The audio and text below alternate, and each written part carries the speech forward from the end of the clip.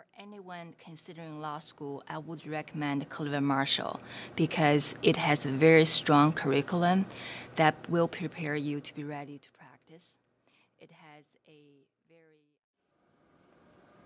between litigation and transaction practice, I prefer transactional practice because it's more collaborative. Uh, people are more friendly because you're always working to, towards the same goal, which is to get a deal or transaction closed.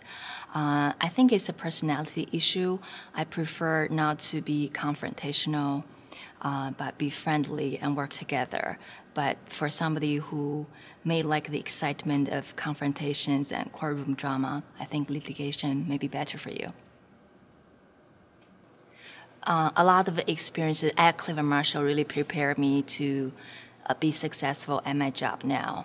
Uh, but most importantly, I think is the writing and research skills, and those I developed from the legal writing class, from being on the law review, uh, where you would have to write a paper and do a lot of research, and at the same time you would have to edit other people's articles.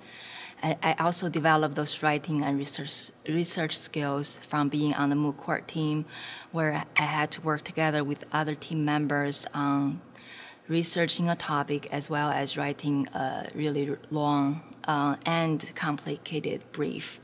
Um, again, writing and research skills are one of the most important skills for the practice of law.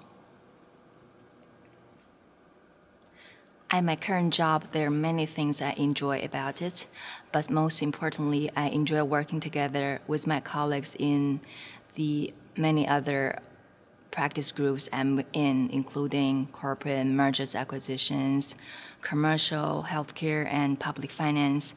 Uh, I work together with my colleagues on achieving the client's needs and also I really enjoy having the almost necessity to always be learning uh, about the new developments in the field of law, and you always have to read a lot to keep update updated with the with the law, with regulations, and other developments.